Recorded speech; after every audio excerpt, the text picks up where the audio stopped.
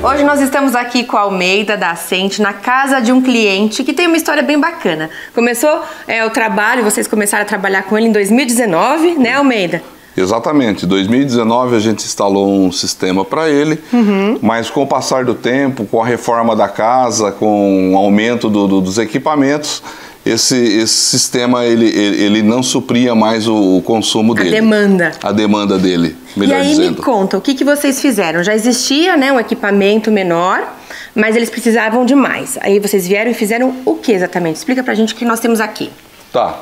Bom, aqui nós fizemos um upgrade dobrou a, o sistema dele em relação ao que nós instalamos em 2019. Uhum. Então, uh, o sistema solar fotovoltaico a gente eh, duplicou né, tanto o inversor quanto a quantidade de painéis. Uhum. Uh, foi necessário também pedir um aumento de carga uhum. uh, para a CPFL e a Sente ela trabalhou em, em, todo esse processo, tanto no, no aumento de carga uh, como na, na, no aumento do sistema solar, solar fotovoltaico. Maravilha. E você estava me falando que agora a economia dele é praticamente 100%, né? Tem meses que nem chega a conta para ele.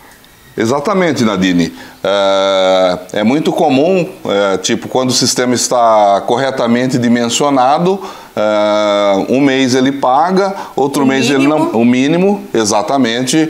E, e tem mês que ele não, não, paga porque não atinge o valor mínimo para cobrança. Uhum. é evidente que no próximo mês esse valor ele, ele, ele vai ser cobrado do cliente, mas é, chega mês e não tem que pagar nada. Aí esse mesmo cliente, ele adquiriu uma BMW é, elétrica e vocês fizeram também a instalação do carregador box, né? Exato.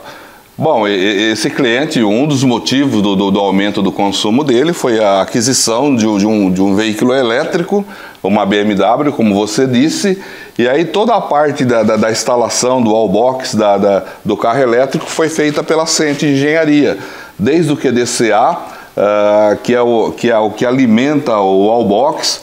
Demos aqui duas opções de tomada para ele colocar outros, outros carregadores menores, se necessário, para uhum. um outro carro. Instalamos, configuramos, startamos uh, o sistema de, de, carregamento do carro elétrico dele. Muito bom. Assente, vale muito a pena investir nessa tecnologia.